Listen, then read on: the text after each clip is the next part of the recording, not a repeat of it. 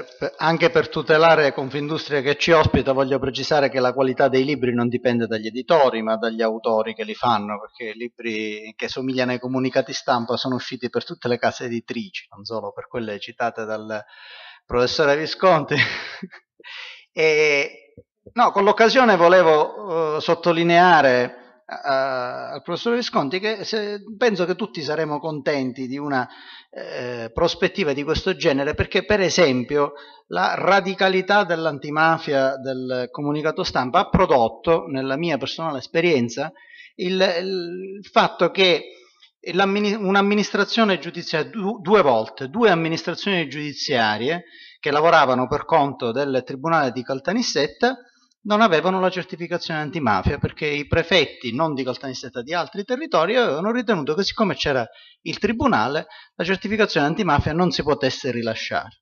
E quindi abbiamo l'amministrazione giudiziaria ha ricevuto eh, autorizzazione da parte del giudice per proporre ricorso al TAR e chiedere di, eh, l'annullamento del provvedimento di interdittiva. Quindi esiste anche nell'esperienza dell'antimafia questo incrocio di radicalismo antimafia reciproco che blocca eh, le, le, istituzioni. Tra l'altro, eh, vi immaginate cosa poteva significare un tribunale del centro, eh, un, per prefettura del centro-nord con un tribunale del sud? Sembrava fare la gara a chi era più antimafia tra la giurisdizione e la pubblica amministrazione. Sono fenomeni istituzionali o forse anche sociologici, quelli di cui stavamo parlando, e a questo punto, siccome noi dobbiamo capire come vanno le cose per evitare di fare l'antimafia dei tweet, dobbiamo analizzare bene qual è il contesto nel quale questo intervento eh, deve essere articolato. Ecco perché oggi, dopo la relazione introduttiva, la tavola rotonda parte con un sociologo, con eh, il professore Stefano Becucci che insegna sociologia generale all'Università di Firenze, che si è occupato di eh, eh, mercati criminali globali con diverse pubblicazioni, al quale abbiamo chiesto di spiegarci in eh, quattro parole mercato, regole, potere mafioso. Eh, allora, innanzitutto, diciamo nei limiti dei 20 minuti, vi chiedo, come dire, di un pochino di spostare l'attenzione su... Non seguirò naturalmente le tematiche di cui abbiamo parlato da stamattina fino ad adesso, perché fondamentalmente, no, non essendo un giurista, non è proprio il mio campo, insomma. Eh, quindi di spostare un po' l'attenzione mentalmente verso altri piani, secondo altre prospettive. E, grosso modo l'intervento si articola in tre parti. La prima parte nella quale vengono evidenziati alcuni aspetti legati alla globalizzazione e se vogliamo gli effetti non intenzionali ma non per questo meno reali del, legati al processo di globalizzazione. Il secondo aspetto, come è cambiata la criminalità su scala transnazionale in particolar modo. Terzo, quali possono essere, facendo alcuni esempi, ricorrendo ad alcuni esempi, le contraddizioni, come dire, sistemiche che poi impattano, sulle quali si trovano, e qui mi fermo, diciamo, ma, ma all'atere vale un po' tutto il discorso, le cose, gli interventi eh, che abbiamo sentito stamani, il, lo stesso contrasto giudiziario. E, diciamo così, eh, il mondo è cambiato, hm? Eh, sembra una cosa, se noi, quando noi facciamo riferimento a qualcosa che è avvenuto, un qualsiasi evento che è avvenuto negli anni 70, negli anni 80, lo percepiamo, tendiamo a percepirlo come qualcosa che appartenga a qualche secolo fa, eh, è un'altra era. Hm? È, lì, è come se avessimo avuto una dilatazione del tempo tanto che il tempo stesso si è azzerato. C'è una bella frase di Rainer Maria Rilke, il quale dice il futuro entra in noi ancora prima che accada.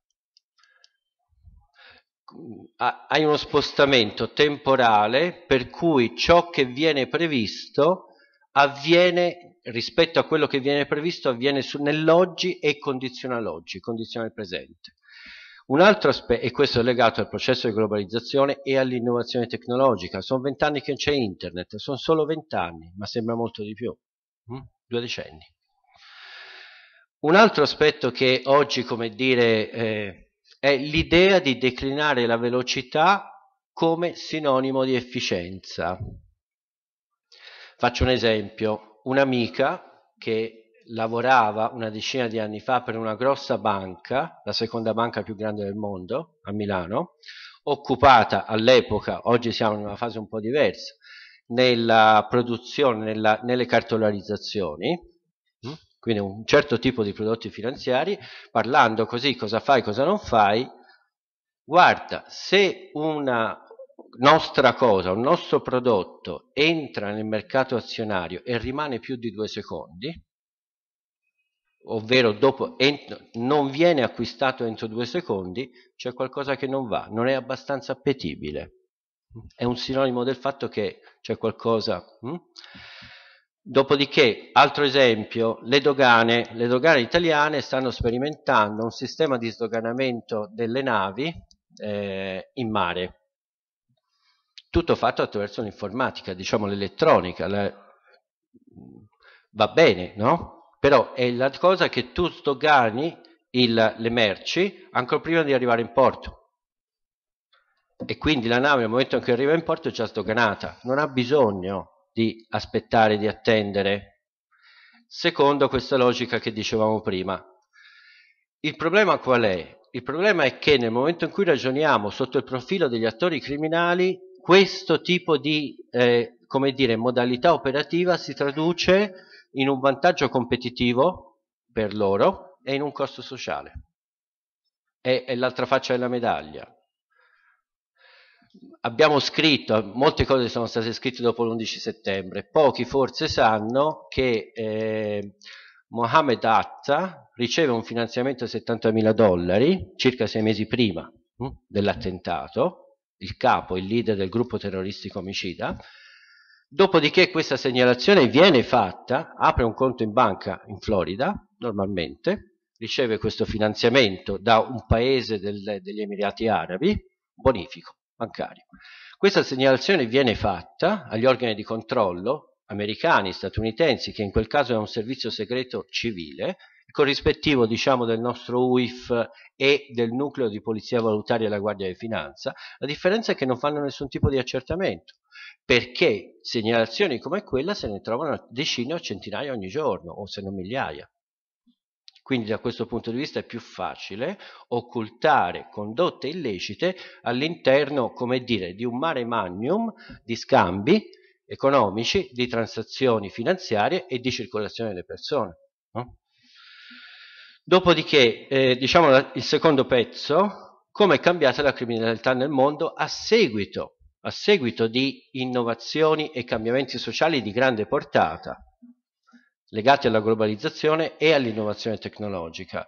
Qui la premessa è che in un certo senso gli stessi attori illeciti, a mio avviso convincente, come dire, siano embedded, cioè incorporati, respirino la stessa aria e aggiustino le loro modalità di azione, il loro modus operandi in relazione ai cambiamenti sociali di natura più ampia. Eh, sul versante della letteratura, sotto il profilo analitico concettuale, troviamo grosso modo due modelli. Il primo modello è quello del network criminale, il secondo è quello del modello gerarchico eh, strutturato verticalmente, al quale in gran parte appartiene ancora, appartengono le organizzazioni mafiose italiane. Qual è la caratteristica de dei network criminali? È il fatto di operare su nodi interconnessi su scala globale, transnazionale e dall'altro lato di essere, diciamo così, business oriented, lo sono anche gli altri, intendiamoci, ma la differenza è che, per capirci cosa è nostro andrangheta, hanno al loro interno un background di natura tradizionale che fa sì che alcune attività illecite siano come dire considerate riprovevoli, non, penso allo sfruttamento sessuale, alla prostituzione. Vivere alle spalle di donne non è dignitoso per un mafioso, questo vale per l'andrangheta e per la, e per la Cosa Nostra in particolare. Cioè abbiamo un background culturale che in un certo senso impedisce, limita l'ampia gamma di attività illecite nelle quali questi individui potrebbero potenzialmente entrare e gestire. Su quell'altro versante abbiamo al contrario figure broker sostanzialmente, che fanno da connessione.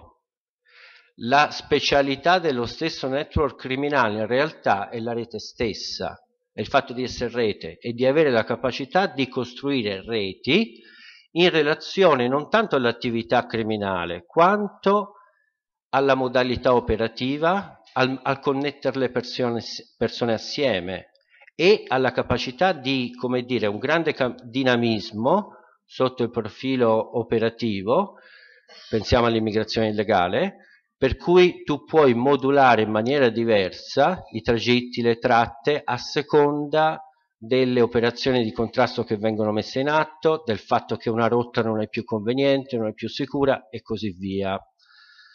E su quell'altro versante, modello gerarchico strutturato, abbiamo penso al traffico di droga, ma abbiamo elementi, come dire, specializzazioni criminali. Di qua c'è, una, una, c'è molto più dinamismo e capacità di adattamento. La terza questione, le cosiddette, chiamiamole contraddizioni sistemiche. Eh, eh, come, che cosa alimenta la, la, la, criminalità odierna? Parlo di criminalità organizzata, in special modo quella di natura transnazionale. Fondamentalmente due questioni, almeno per quanto riguarda l'Italia, ma non solo l'Italia in realtà. Eh, la prima è il fatto di essere eh, impiegata in, nella produzione di beni e servizi o illeciti, penso al traffico di droga, ma anche, è l'esempio che farò, di servizi o beni leciti ma prodotti in maniera illecita. Pensiamo alla contraffazione. Hm? Tempo addietro, facendo una ricerca, tempo addietro poco tempo fa, siamo nel 2009-2010, sulla criminalità cinese in Italia, intervisto il direttore della dogana di Napoli, dopodiché leggo dei procedimenti giudiziari dell'epoca della DDA, da questi procedimenti giudiziari esce che eh, l'attività di contrasto della magistratura aveva mh, mm, tolto, diciamo smantellato un'organizzazione di trafficanti cinesi da una parte e camorristici dall'altra che offrivano le, lo le, loro conoscenze e collusioni col contesto italiano e le loro basi operative in comunione diciamo di interessi economici, dopodiché a un certo punto un container doveva essere trasferito per non destare sospetti da una zona all'altra del porto per un errore, un qualsiasi errore che può capitare, le carte apparentemente non in regola, viene collocato in un'altra zona. Dalle intercettazioni, dal procedimento giudiziario si legge che capiscono questa cosa, vorrebbero riportarlo dov'era, sono passate 24 ore, in realtà non sono più in grado di farlo perché la merce stata, è già entrata nella distribuzione commerciale già non c'è più. Mm? Vuol dire che un, tu hai su un versante la richiesta di prodotti, in questo caso a basso costo, frutto di attività illecite, frutto del sfruttamento del lavoro, che viene alimentata da un'ampia platea di consumatori, che riguarda in questo modo, in questo caso la contraffazione, ma gli esempi potrebbero essere fatti anche per altri aspetti. Un altro aspetto è poi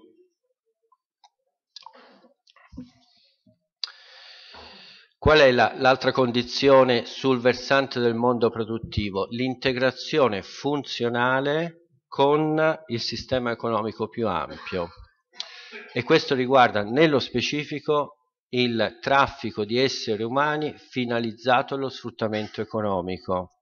È una cosa che si rileva nell'ambito delle imprese di immigrati, ma a seconda del contesto nazionale anche, come dire, a macchia di leopardo in vari, in veri, in vari ambiti. Uh, il punto è il passaggio dal Fordismo al post-Fordismo. eh, fino agli anni 70 la Fiat aveva grossomodo 15-16 livelli di, gerarchici interni, hm? dalla, dalla, diciamo, dal manager fino al livello più basso. Era un sistema economico che poteva reggere, nonostante i grossi costi di gestione, grazie alle economie di scala e a una produzione di massa garantita dal fatto che all'epoca l'economia italiana, e non solo italiana come dire, tirava e le imprese producevano un numero più, adeguato, più che adeguato di beni che i consumatori consumavano. Ora questa cosa qui non c'è più. Nessun imprenditore può pensare di programmare a lungo termine la propria produzione. Al contrario, che cosa deve fare?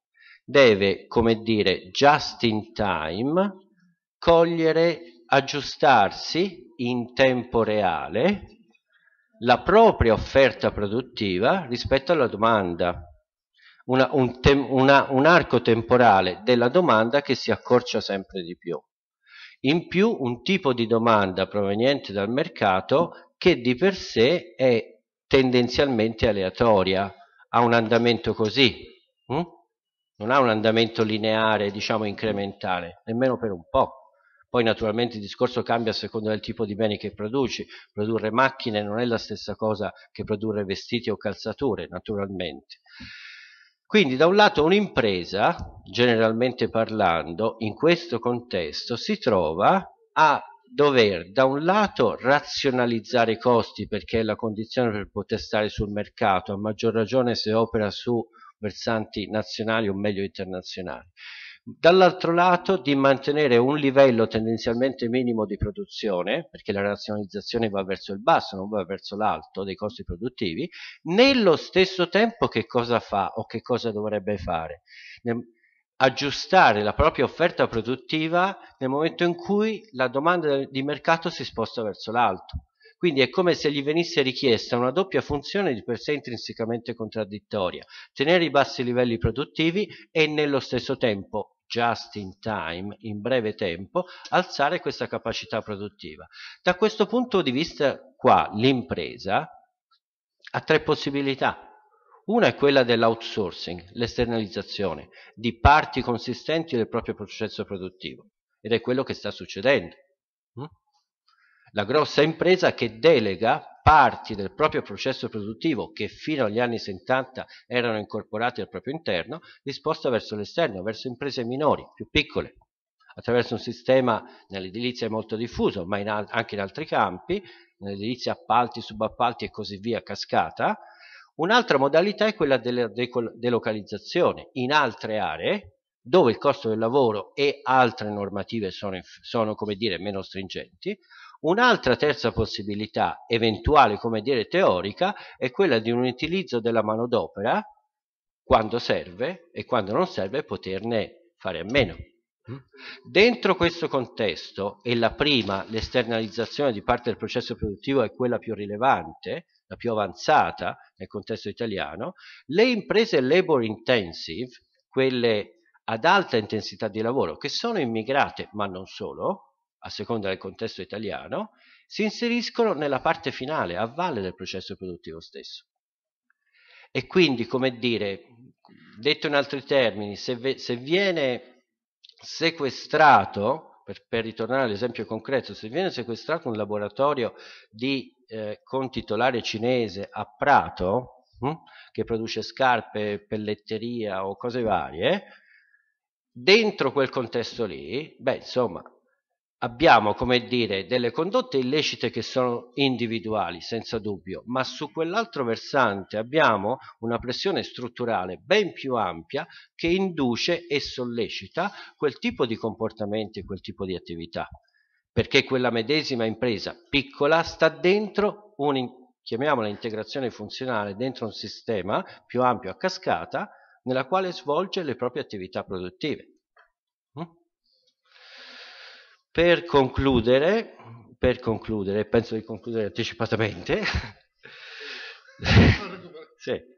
no, direi che insomma riprendo la suggestione del dottor Balsamo, cioè un paese contraddittorio con grandi lampi, ma anche slanci di speranza, un paese contraddittorio, l'Italia, difficile e contraddittorio, quando si va all'estero si capisce immediatamente, si capisce che si può vivere in maniera diversa e fa specie, no? Se, se stai qua, se non ti muovi, hai solo un termine di paragone, nel momento in cui ti sposti, basta uscire fuori da... non c'è bisogno, no, normalmente in molti paesi, quelli occidentali, tutti o quasi tutti, si capisce che si può vivere in un'altra maniera e che è possibile farlo. E direi così, per concludere, la, tutti conosciamo cosa voleva dire la linea della palma di Sciascia, hm?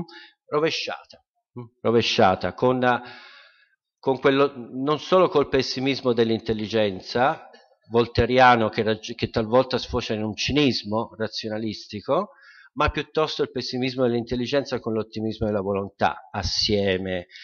E qua, qua a Sicilia, un confronto, io conosco abbastanza bene la Calabria per lavoro e per altre cose, più o meno quanto la Sicilia, diciamo così, qui abbiamo un tessuto sociale, perché la, la Sicilia ne ha passate, mettiamola così, ne ha passate di di pesanti e questo ha consentito anche la creazione per contrapposizione di un tessuto sociale riflessivo, consapevole, che è un grosso problema, l'organizzazione criminale mafiosa, e che quindi, come dire, occorre reagire.